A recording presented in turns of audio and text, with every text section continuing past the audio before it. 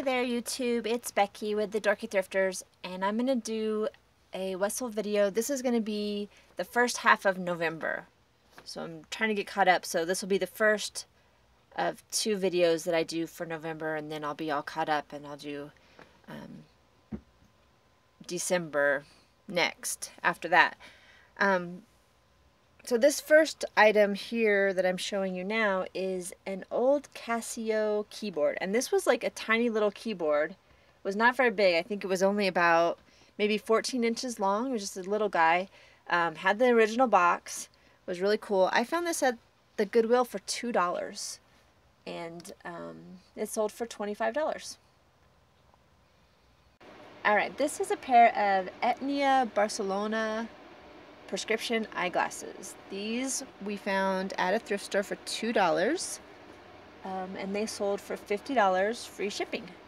And they were very unique. They were kind of a brown and orange with yellow on the inside.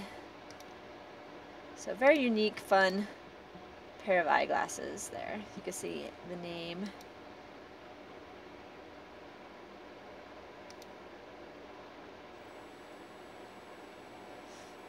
not a very good picture, but there's the, the website there. You can see that. And those were made in Spain, so that's different. Don't see very many eyeglasses made in Spain. Alright, this is just an empty eyeglass case. I bought this for a dollar. It's Vera Wang is the name brand. You can kind of see it there. Vera Wang and that one sold for $16.95 free shipping.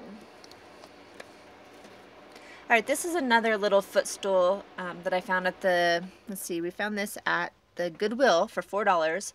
And I actually recovered this one because the original cover had some stains on it. Excuse me. So we just took a piece of fabric, um, you know, unscrewed the top um, and just stapled on the new fabric right over top of the old. Um, it only took us maybe 15 20 minutes to do it and it looked really nice. As you can see it was a really piece really pretty piece of fabric. The footstool had some really cool detail. You can see there a little bit of it. And then the legs as well were carved. So it was really neat. Um, it did have the original tag on the bottom Empire Wood Carving Company. So it was definitely a vintage piece. Um, and it was really neat. And that sold for $40 plus shipping. Alright, this is a old photo of Babe Ruth and Lou Gehrig. And the cool thing about this photo was that be, we found this in um, a lot of books that we bought, and it was in a frame, and behind the, the photo in the frame was this um, piece of paper here that had all the names of all the kids and their ages. Let's see a better picture here. Uh, whoops.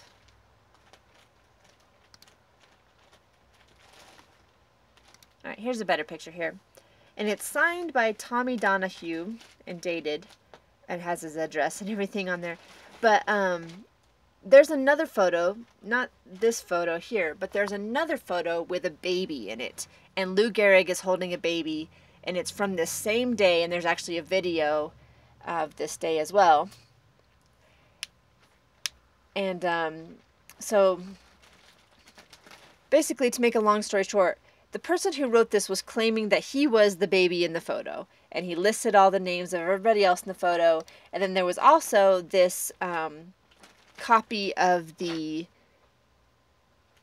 newspaper article. It was stamped by the newspaper there, 1988, and the same stamp was on the back of the photograph. So that was kind of a cool thing to find. Um, we found it in a lot of books. Like I said, we bought the entire bookshelf of books at an estate sale, and there had to have been like 50 or 60 books on the bookshelf. Plus, we got the bookshelf, and I think we only paid about $15 for the whole thing.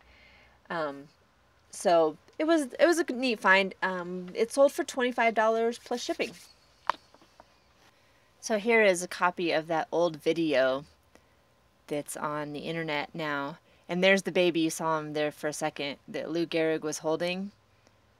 And there's a really cool story behind all this, which I read a lot about, but I won't get into all that. If you are interested, you could look it up.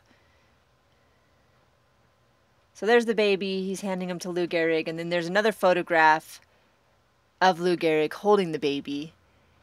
And so, anyways, I don't know if it's real or not, but this person is claiming that he is that baby right there that Lou Gehrig was holding. So, pretty cool.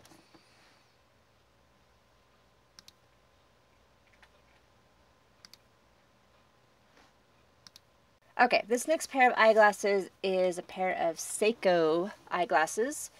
Um, they were like a gold tone with a tortoiseshell inlay, which were they were really nice.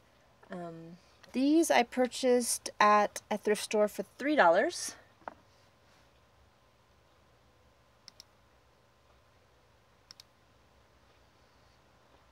And there you can see the Seiko name right there. Um, with Seiko eyeglasses, it's almost always engraved into the metal, not printed on it. And those sold for $50 plus shipping.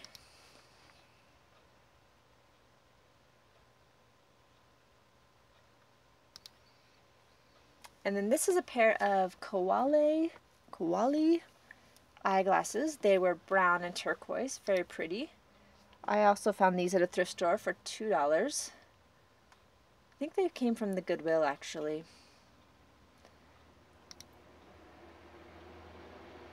There you can see better. And see if I can find the name to show you.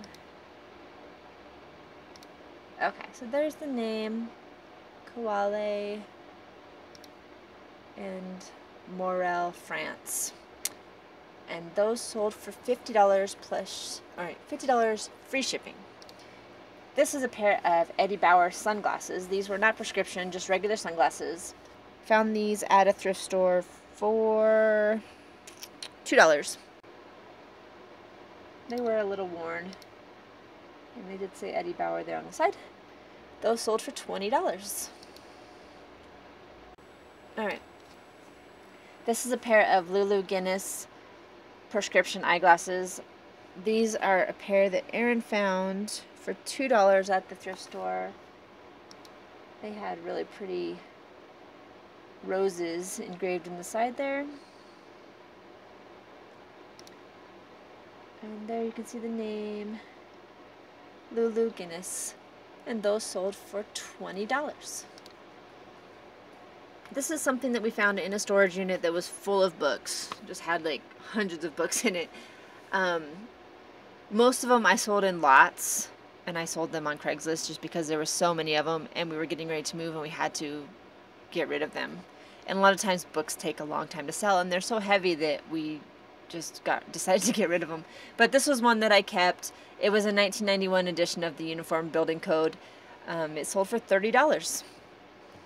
Alright, this was a set of puppy dog salt and pepper shakers. We found these in a storage unit as well.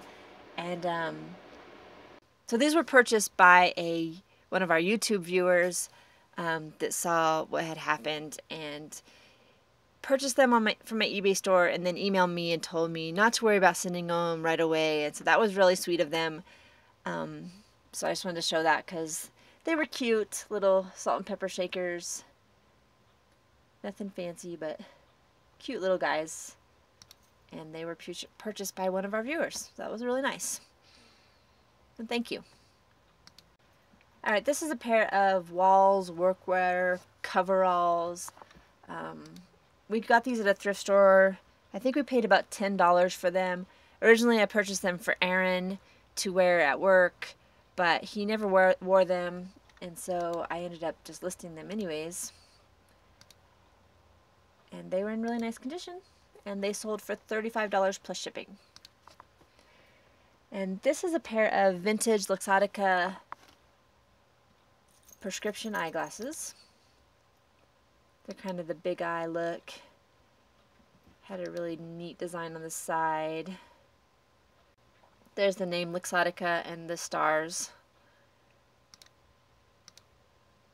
and those sold for $30.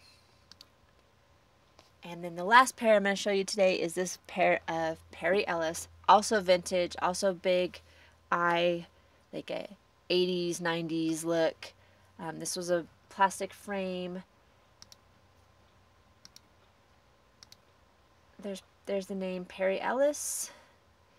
And these I got out of an eBay lot that I figured I paid about a dollar per pair.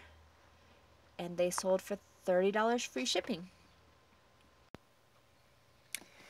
Okay, so that's all the sales I have to show you in this video.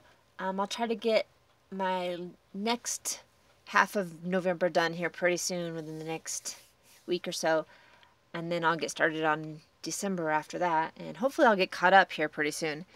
But I will be leaving tomorrow to travel to Kansas to pick up our new fifth wheel. So we have sold the camper that we're living in now and have purchased this fifth wheel which has a better floor plan for us so that we can continue to um, so I can continue to stay home with the kids and homeschool and do eBay and um, I can afford to do that. And so um, I will be traveling. Please keep me in your prayers if you think about it in the next couple days as I go to Kansas and bring back our new fifth wheel. All right well thank you again for watching our videos and God bless you and take care